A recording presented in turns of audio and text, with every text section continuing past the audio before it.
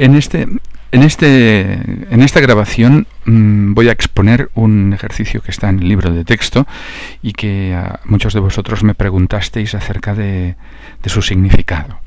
Y, voy a aclarar eh, estas cositas. Bueno, esto está relacionado con los grafos y las matrices. Mm, cada grafo tiene una matriz asociada. En particular, este grafo es un grafo orientado, que representa eh, las maneras de ir de una ciudad A a una ciudad B y de una ciudad B a una ciudad C a, través de vuelos de, avión. los elementos A sub 1, A sub 2 y A sub 3 de A son aeropuertos de la ciudad A. Los elementos B de la ciudad B son también aeropuertos y los elementos de la ciudad C son aeropuertos de la ciudad C. Las flechas indican los vuelos que enlazan un aeropuerto con otro. Bueno, entonces, la, podemos hablar de mm, dos matrices, una que relaciona A con B, en, el sentido de A a B, y otra matriz eh, que relaciona los vuelos de B con los de C en el sentido que se apunta en la flecha. Son grafos orientados porque están las flechitas. Entonces vamos a llamar M como se hace en el libro a la matriz de A a B. Entonces, mm, si aquí ponemos mm, las eh, salidas en las filas y en las columnas las eh, llegadas, los aeropuertos de llegada, el número de vuelos que enlazan a sub 1 con B sub 1 es 1. El número de aeropuertos que enlazan a sub 1 con B sub 2 es 0. Los que enlazan a sub 1 con B sub 3 es 2 los que enlazan a sub 1 con B sub 4 es 0 y así los que igual con los que enlazan a sub 2 con B1, a sub 2 con B2, a sub 3 con B sub 3 a sub, y a sub 2 con B sub 4. De esta manera podemos construir fácilmente esta matriz asociada al grafo que va de A a B, al subgrafo, vaya, a esa parte del grafo. Lo mismo sucede hablando de las comunicaciones entre la ciudad B y la ciudad C. Podemos elaborar una, una, matriz, escribir una matriz que relaciona las salidas de, de B con las llegadas a C. El número de vuelos que enlaza B sub 1 con C1 es 3. B sub, perdón. B sub 1 con C1 efectivamente es 3, lo he dicho bien. B sub 1 con C2 es B sub 1 con C2. Aquí me he dejado, mm, me he dejado una cosa, unas flechitas que van, que estaban en, no las he copiado.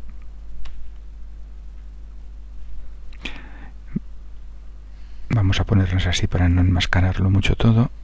B sub, 1 con C2, tal como está en el libro. Entonces, tal como está en el libro, ¿eh? me lo había dejado al preparar la grabación. Y aquí hay un 2. El número de enlaces de mm, B2 a C1 es 1. El número de enlaces de B2 a C2 es 0. De B sub 3 a C sub 2, de B sub 3 a C sub a C sub 1, perdón, es también 1, de B sub 3 a C sub 2 es 0, de B sub 4 a B sub 1 es 0 y de B sub 4 a C sub 2, de B sub de B sub 3 a C sub 2 es 0, de B sub 4 a C sub 1 es 0 y de B sub 4 a C sub 2 es 2. ¿vale? Estas son las matrices asociadas a los grafos, a los subgrafos de A a B y de B a C. Ahora lo que vamos a hacer es utilizar estas matrices para mm, ver el paso directo de A sub 1 a C. ¿vale? Con lo cual podemos escribir otro grafo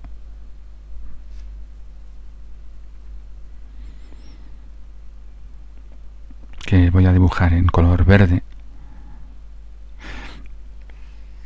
entre A y C. Y vamos a ver de qué manera podemos ir de A a C pasando por algún aeropuerto de B. La, idea es eh, deducir las flechas que van de los aeropuertos de A a los aeropuertos de C, pasando por algún aeropuerto de B. Esto es importante. Aeropuerto de B. ¿vale? Bien, entonces esta matriz asociada a este grafo que queremos determinar es la matriz M por N. El punto indica el producto de matrices. Entonces, si, como ya hemos explicado en clase, tal como se hace el producto de matrices, volvemos a copiar las matrices que hemos deducido y hacemos el cálculo. Esta es m y n es esta otra. 3, 2, 1, 0, 1, 0 y 0, 2. Pues bien, esta es una matriz 3 por 4 esta es una 4 por 4 mm, por 2, por lo tanto lo que nos tiene que dar es una matriz se puede multiplicar porque el número de columnas del primer factor es igual al número de filas del segundo y nos va a quedar una matriz 3 por 2, ¿vale? 3 por 2.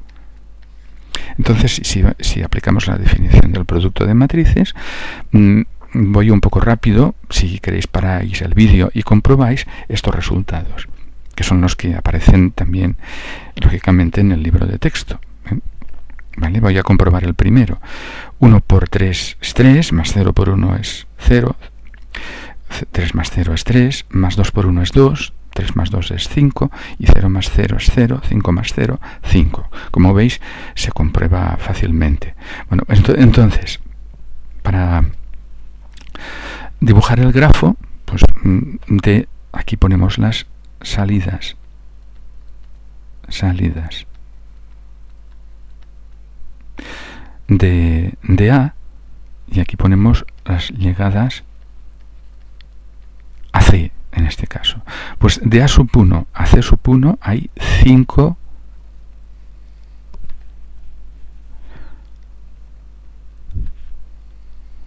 cinco flechas, ¿vale?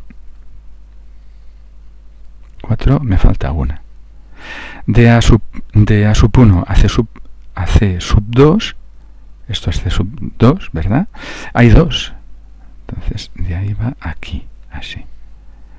De, de A sub 2 a C sub 1 hay dos, dos más.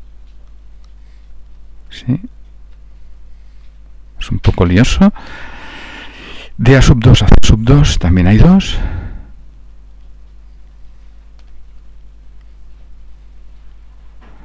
De A sub 3 a C sub, a C sub 1 no hay ninguna flecha, hay cero flechas, y de A sub 3 a C sub 2 hay dos otra vez, a partir de A sub 3.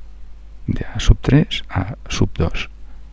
Bueno, pues este es el resultado que conectan los aeropuertos de A con C, pasando, cuidado que esto, repito que es muy importante, pasando por algún aeropuerto de B. ¿eh? Si volvemos a la página anterior, por ejemplo, vemos que de A sub 1 a C sub 1 hay estas tres que pasan por B sub 1, más estas dos que estoy señalando aquí, que pasan por B sub 2. estas tres más estos dos son las cinco que hemos encontrado al hacer el paso, la multiplicación de matrices.